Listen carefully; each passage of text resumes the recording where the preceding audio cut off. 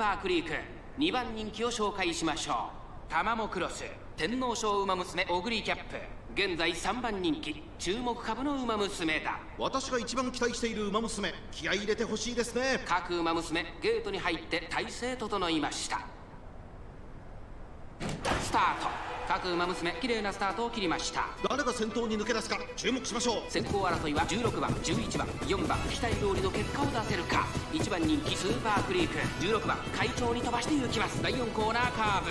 先頭は16番単身で飛ばして行きます。先頭から大きく離されて2番手は3番4番続いている。メジロマックイーン。並んできた。それを見るように5番11番並びかけてきた。さらにはスペシャルウィーク。それを見るように当選上段。まずは1周目。正面スタンド前に上がっていく。さらに内から8番スーパークリーク。ここにいます。2番追走。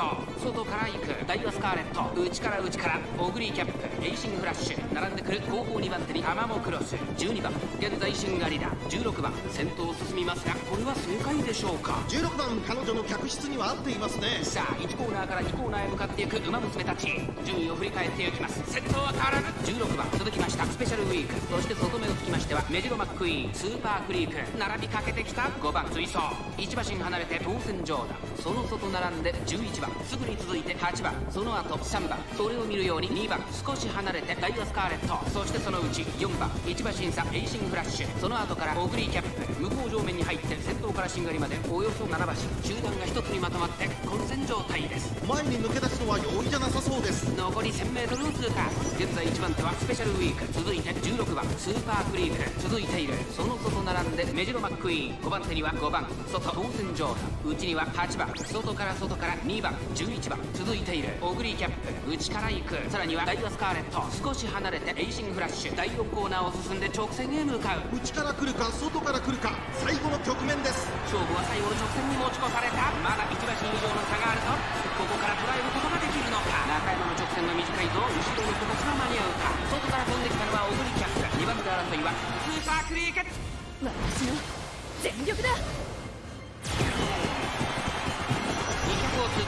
オグリキャップ抜け出したオグリキャップ足色は衰える強すぎるやりましたオグリキャップ見事な走りで勝利を集中に収めました。夢のグランプリを制したのはオグリキャップ年末最後の大一番を制し栄光のセンターの座を手に入れた。2着にはスペシャルウィーク。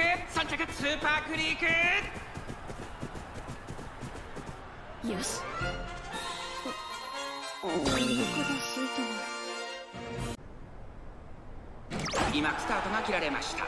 各馬娘揃って綺麗なスタートを切りました。これは位置取りが熾烈になりそうですね。アイネス・プージンとマルゼンスキー。この2人が競り合っているぞ。期待通りの結果を出せるか。1番人気シンボリ・ルドルフ。シンボリ・ルドルフ。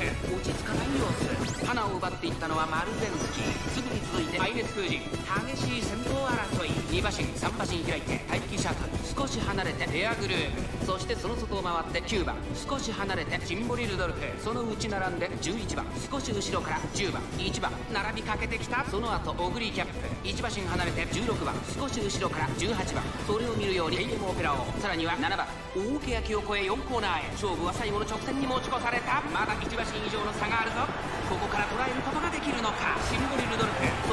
足を溜めていますオグリキャップ前を狙っているぞシンボリ・ルドルフまだ抑えたままださあここから先頭を伺うのは待機シャトルさあ最終コーナーを曲がって最後の直線コースに入った内から仕掛けたのはオグリキャップ両方まで400飛び込んできたオグリキャップ2番手争いは待機シャトルシンボリ・ルドルフ抜け出したのはマルゼンスキーだが後続も追いすがる私の全力だ。200を通過。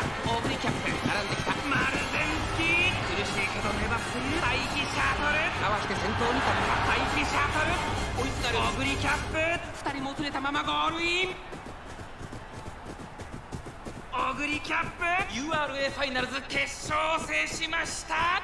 今ここに優秀たちの頂点が誕生です。2着は待機シャトル。3着はマルゼンスキー。よし。